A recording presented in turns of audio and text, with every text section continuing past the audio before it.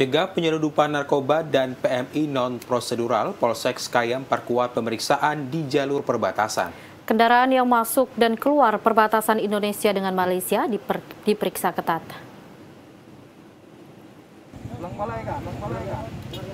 Antisipasi penyelundupan narkoba dan barang terlarang, Polsek Skayam perbatasan Indonesia dengan Malaysia perkuat pemeriksaan jalur lintas antar negara jelang akhir tahun.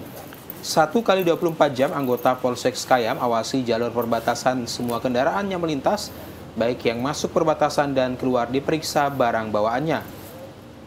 Kapolsek Skayam AKP Ruslan Abdul Ghani mengatakan, marak penyelundupan narkoba melalui jalur tidak resmi jalur antar negara juga menjadi atensi khusus Polsek Skayam untuk mencegah upaya penyelundupan narkoba dan calon PMI ke luar negeri secara ilegal. Yang pertama adalah melakukan razia terkait dengan uh, razia di jalur-jalur terkait dengan peredaran narkoba maupun uh, masuknya ataupun keluar masuknya PMI yang melalui jalur tidak resmi.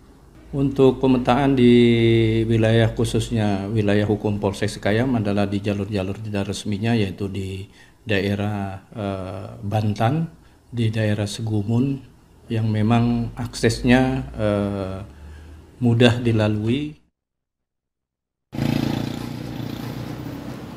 Kapolsek Skayam AKP Ruslan Abdul Ghani mengakui jalur tidak resmi rawan di perbatasan Indonesia dengan Malaysia baik di Antikong dan Skayam.